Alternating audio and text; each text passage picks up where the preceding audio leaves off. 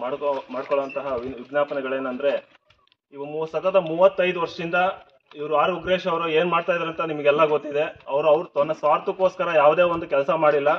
ಪ್ರತಿಯೊಂದು ಅವರು ಇಲ್ಲಿವರೆಗೂ ದಾನ, ಧರ್ಮ ಮಾಡ್ಕೊಂಡು ಪ್ರತಿ ಬಡವರಿಗೂ ಕೂಡ ಆಗಿದ್ದಾರೆ. ಇವತ್ತು ದಯವಿಟ್ಟು ಅವ್ರಿಗೆ ಹೇಳ್ತೀನಿ, ಅವರು ಮೂವತ್ತೈದು ವರ್ಷ ಸರ್ವಿಸ್ ಅಲ್ಲಿ ಕಣ್ಣಲ್ಲಿ ನೀರ್ ಹಾಕ್ತಂತ ವ್ಯಕ್ತಿ. ಇವತ್ತು ಕಣ್ಣಲ್ಲಿ ನೀರು ಹಾಕಿದ್ದಾರೆ. ದಯವಿಟ್ಟು ನೀವೆಲ್ಲರೂ ಕೂಡ ಪ್ರತಿ ಶಿರಾ ಜನತೆ ಅವ್ರಿಗೆ ದಯವಿಟ್ಟು ಓಟ್ ಕೊಡಿ. ಅವ್ರಿಗೆ ಅವ್ರ ಜಯಶೀಲರನ್ನಾಗಿ ಮಾಡಿ ಇದು ನಮ್ಮ ಗ್ರಾಮ ಗ್ರಾಮಸ್ಥರ ಪರವಾಗಿ ಕೇಳ್ಕೊಳ್ತಾ ಇದ್ದೀನಿ.